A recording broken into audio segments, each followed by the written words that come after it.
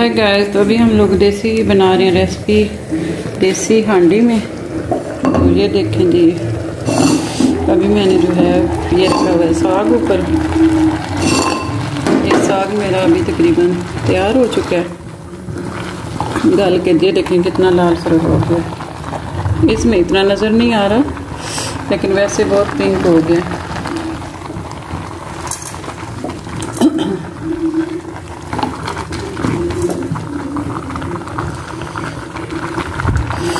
तो ये देखें कितना गल गया। ऐसे हाथ में आने से हो रहा है। तो थोड़ी देर में इसको ऑल रखूँगी। उसके बाद जो मैं इसको पानी उतार लूँगी। तो ये मैंने सब्ज़ मिर्चें और लाल मिर्चें इसमें डाल के तो मैंने कूट ली हैं। ये मैं डालूँगी साग में सारी। ये देखें ये गैस चेक करें। ये मैंने कूट ली हैं, ये मैं डालूँगी साग में। उसके अलावा जो है, ये हमारे घर का सारा खिलारा है, जैसा कि रोज़ होता है।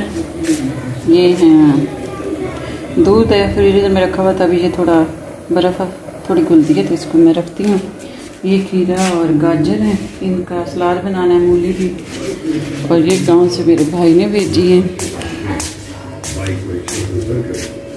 पालक धनिया और मिर्ची। साग हम लोगों ने बाज़ार से लेकर बनाया तो फिर ये उन्होंने भेज दी है लेकिन अभी ये मैं अपनी बहन को दे दूँ वो लोग आए हैं मेहमान। उनको दे दूँगी तो ये इब्राहिम साहब देखिए फ्रूट ठूस रहे हैं सारा ठूस लिया हम्म? अच्छा दिखाओ। वो एक पानी फल का पीस पड़ा है ना? मेरे पास खा मैं तो जा रहा हूँ हाथ धोने हाँ। और मैं आज देसी रेसिपी बना रही हूँ और देसी बनी हुई हूँ। कल हम लोग ने एक वीडियो डाली, हम लोग ग्रोसरी वगैरह करके आए हैं तो उस पर अपलोड नहीं हो रही, पता नहीं क्या प्रॉब्लम है। अभी मैं खा रही हूँ ये केला केला, जो बच्चों से बचा हुआ है।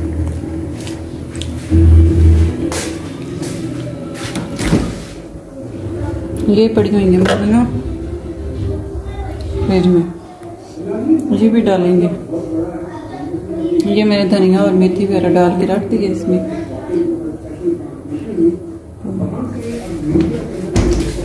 बाकी जो है आप लोगों के साथ शेयर करते हैं, जो भी होता है, वो करेंगे।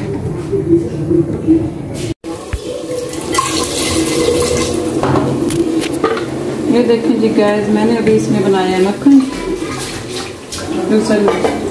और ये बन गया मेरा मक्खन। और के लिए मक्खन तैयार हो गया।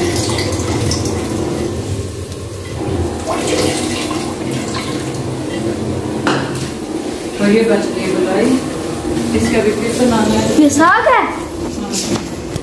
रख देती हूँ। प्लेट में। गाइस मामा बना रही हैं साग।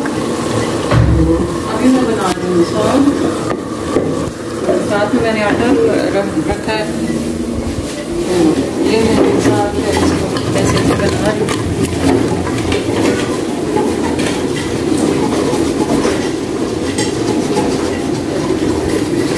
मैं करूँ? कर। साग इतनी मेहनत लेता है, कल से मैं लगी हूँ। कल से लगी हूँ और अभी तक ये नहीं बना। कुछ मैंने चिकन में डाल के तो रख दिया कुछ जो है इधर अभी मैं बना रही हूँ।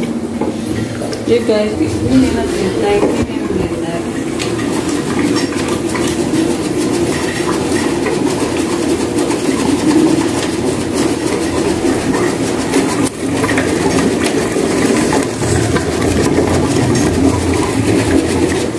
साग में अन्य भी दुखने लग पड़े हटना? अभी तक ये इतना। अभी पानी भी खुश हो? जाए